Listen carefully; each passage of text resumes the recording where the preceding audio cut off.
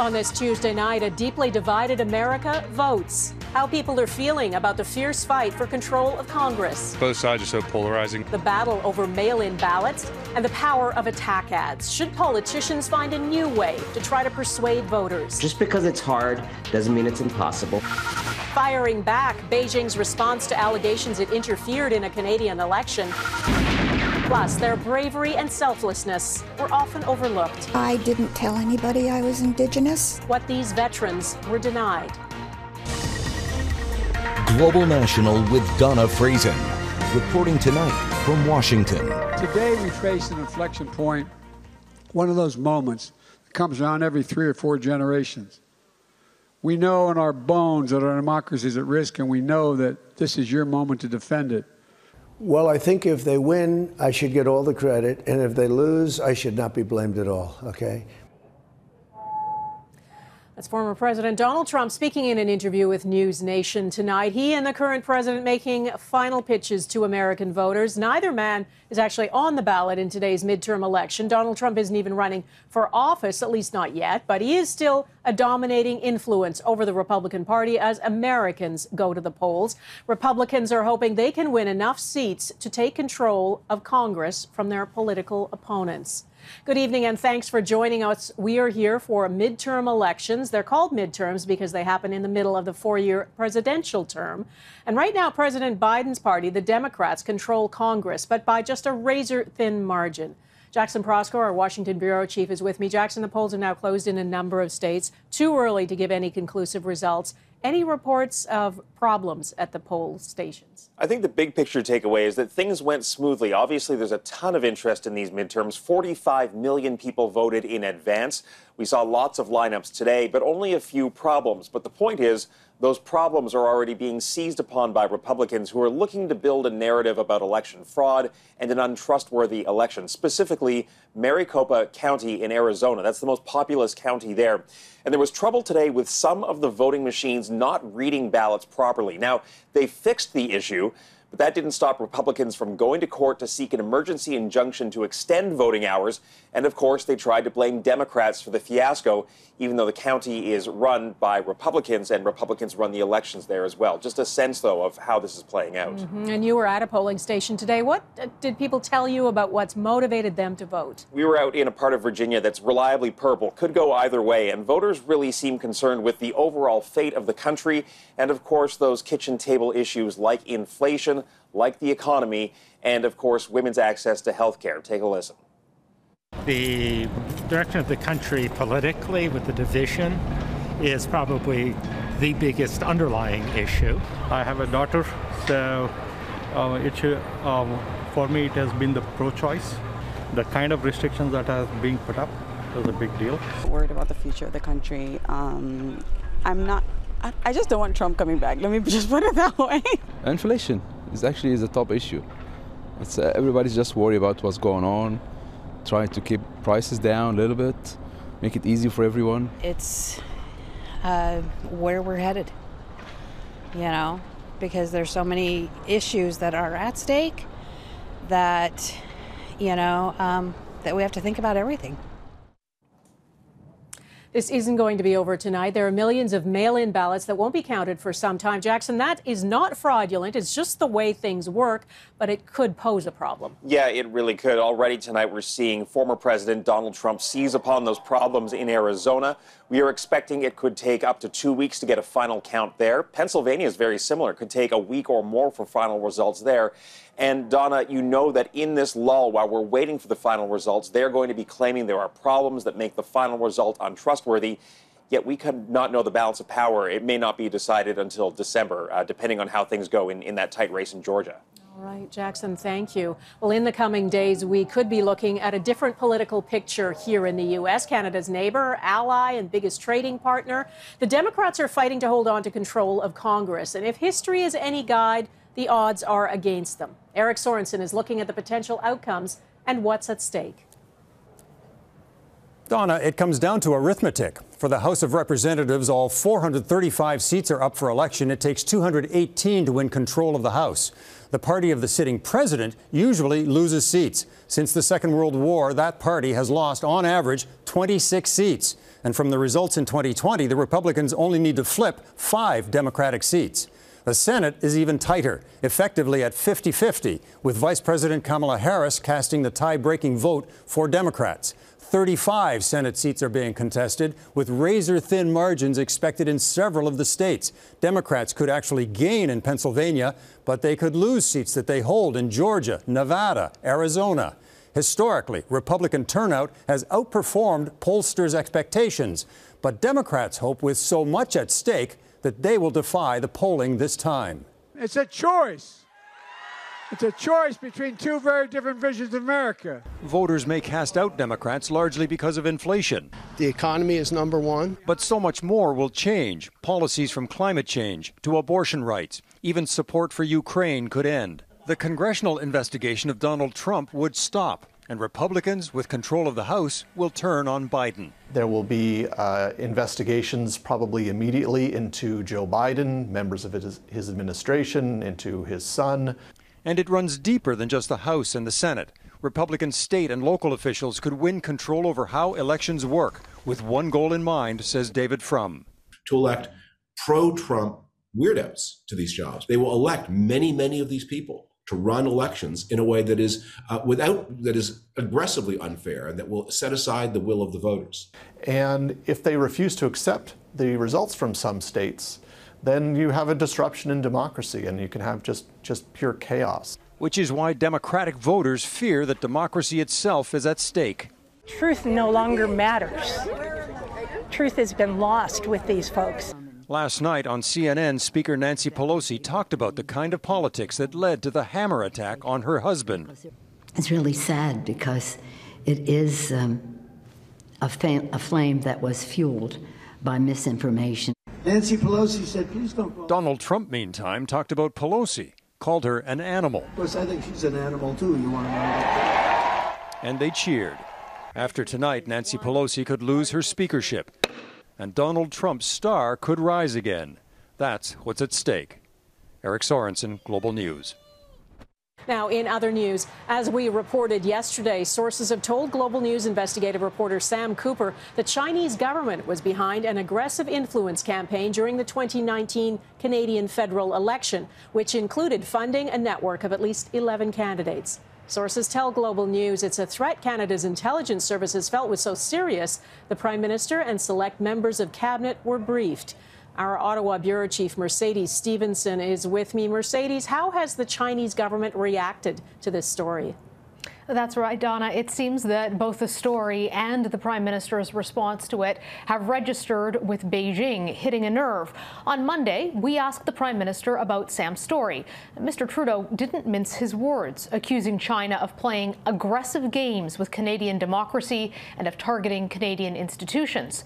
The Chinese Foreign Ministry spokesperson hit back today during his daily press conference, claiming China isn't interested in Canada's internal affairs and warning that Canada should, quote, stop making remarks that are detrimental to China Canada relations.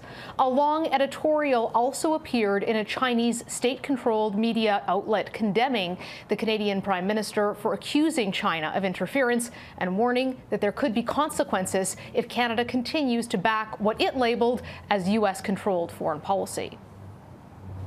And what's been the reaction from politicians in Canada? While conservative foreign affairs critic Michael Chong released a statement today accusing Beijing of interfering in Canadian democracy and calling on the Liberal government to move faster.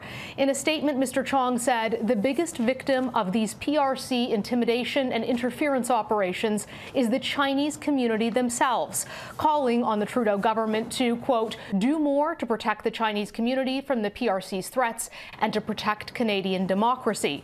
Now, allied countries like Australia have chosen to bring in updated laws that address concerns about Chinese state interference, including modern counter espionage legislation and a foreign agents registry. And while the Prime Minister has promised to do more, he has not given us any specifics on what that could look like or a timeline of when it might happen. Dawna? All right. Mercedes Stephenson in Ottawa, thank you. This is National Indigenous Veterans Day in Canada. Coming up, the discrimination these soldiers faced and why this day means so much to them. Voting is underway in the U.S. midterm elections. It could change the balance of power in the capital. We're back from Washington in a moment.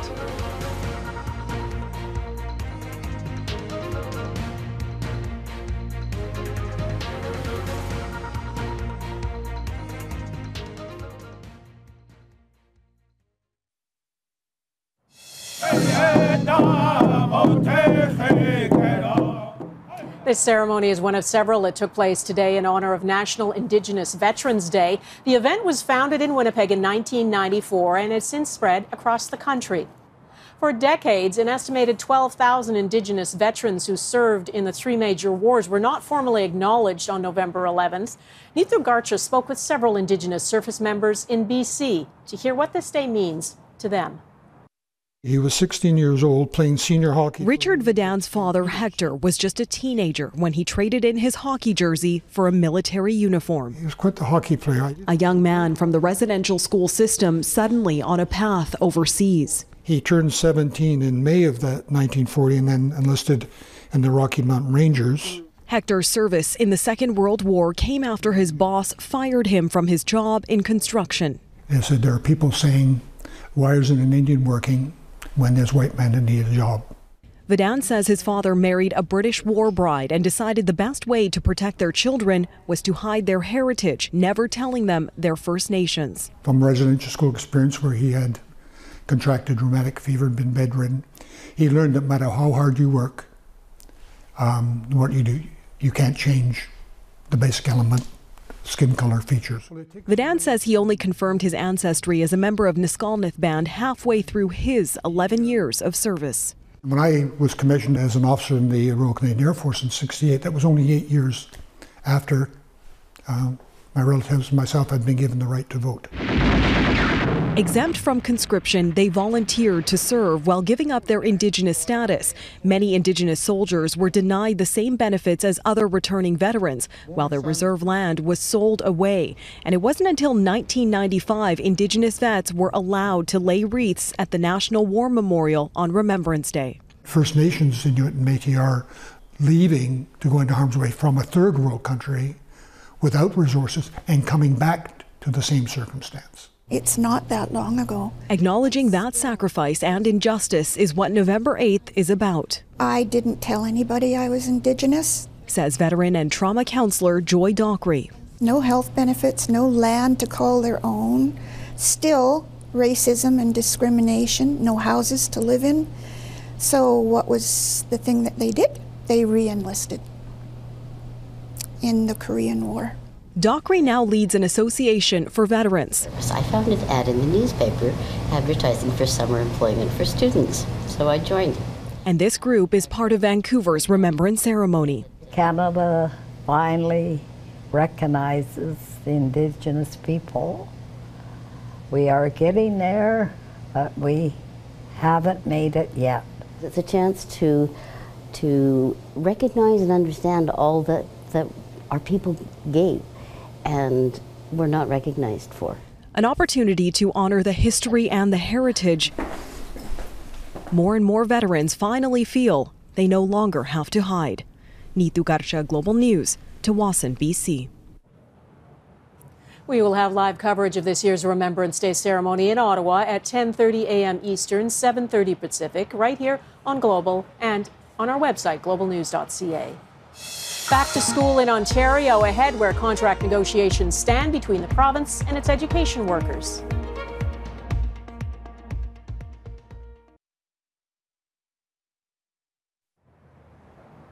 Ontario Premier Doug Ford says his government is back at the bargaining table with what he calls an improved offer for education workers. He didn't give any details, but said the deal offers a higher amount for the 55,000 union members who walked off the job on Friday.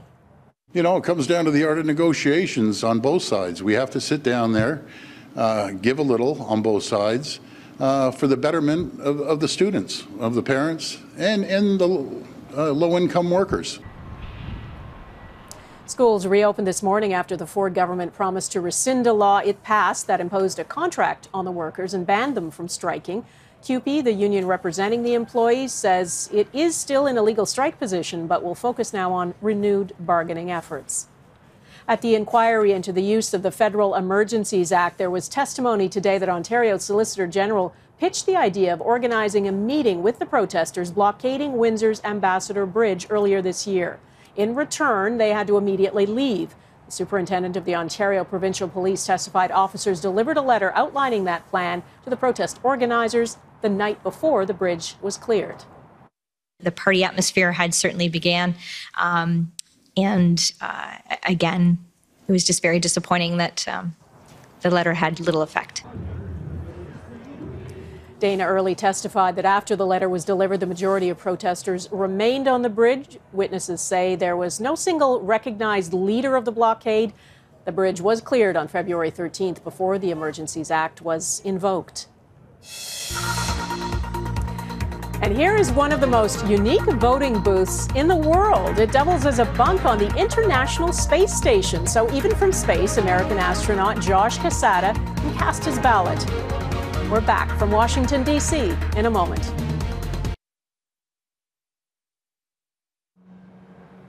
We know politics is polarized in America, and now it's made worse by a barrage of political attack ads. John Fetterman has a love affair with criminals. Fetterman's plan keeps the drugs flowing, the killers killing, and the children dying. Herschel Walker, decades of violence against women, guns, razor blades choking, stalking. He can't be our senator. Whose side were you on? The cops who defended our democracy or the criminals who tried to overturn it? Yesli Vega defended these guys. Who are the Democrats bringing into our cities and how many more kids will suffer? Tell Biden and his friends in Washington stop hurting our children. Turn on your TV here in the U.S., and it has been back to back political ads that often make misleading claims. They're online, too, now more than ever. A nonpartisan group that tracks political advertising called Ad Impact has calculated that spending on political ads in 2022 in the U.S. is on pace to reach $9.7 billion. It has never been that high not even in the last presidential election. Politics here is a winner takes all game. Someone who thinks differently from you is not just wrong, they are the enemy. Earlier today, I spoke with a writer who says that is alien to the heart of democratic theory that you can change minds not through fear, but through persuasion. The Persuaders at the front lines of the fight for hearts, minds, and democracy is the title of Anand Giridharadas' latest book. He is a former foreign correspondent and columnist, and he is with me from Brooklyn, New York. Hi there, Anand. You know, persuasion in politics is what campaigning, I think, used to be about convincing voters that your ideas about social services, taxes, whatever, to make your community better. Uh, but in 2022, I've talked to so many people here who say they don't even talk politics with their family or friends because it inflames such anger. What's your assessment of the state of the United States right now? Well, the, the United States is in a really big uh, pickle because democracy itself is uh, being tested in this country as it has only been in, in, in truly intense moments uh, in American history. Right now, one of the two major political parties is essentially running uh, to sabotage the practice of democracy itself, and that's the modern Republican Party that is running on a platform of uh, white racial resentment, male grievance at having to live in an egalitarian world, uh, and trying to, you know, overturn the will of the people in in many contests across the country, uh, and advocate for political violence as a normal way to kind of get the world you want. So, in that context, uh, it is as important, if not more important than ever, for those on the pro freedom, pro democracy side, the Democratic Party and its allies in the United States, to be able to persuade. And you're right, it has gotten harder.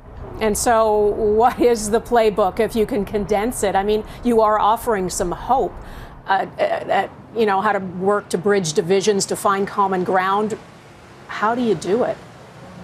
Well, I think the anti democracy movement, the fascist movement increasingly in the United States, is actually quite good at understanding human beings as we actually are and building a politics on top of a realistic sense of how people form their opinions, what their emotional response to the news is, what their fears and anxieties are. And in many ways, what the Persuaders book is arguing for is for pro freedom, pro democracy forces in this country to become better at a human centered politics. I think there's a notion of being willing to pick fights. It's another part of the Persuaders playbook, being willing to pick righteous fights. Uh, with all due respect to Michelle Obama, who some years ago said, when they go low, we go high. Uh, I don't. High, I, I think it's also possible to say, you know, when they go low, we hit harder. So let me ask you why you think that has not happened on the Democratic side. The Republicans, as you say, have been good at commanding attention, maybe better at sort of meeting people where they're at. Why have the Democrats up till now dropped the ball on that?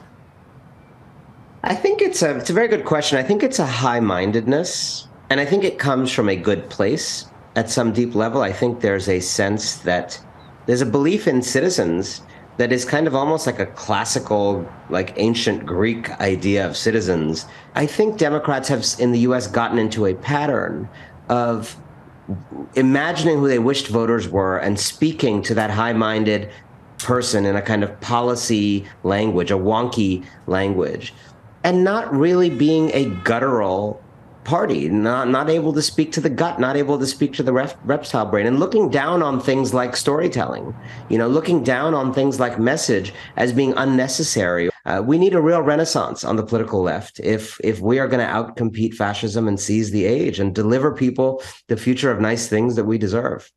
Anand Giridharadas, thanks. He did have a lot more to say. You can watch the full interview online on our website, globalnews.ca slash globalnational. That is our newscast for this Tuesday. I'm Dawna Friesen. Thanks for watching. For now, good night from Washington, D.C.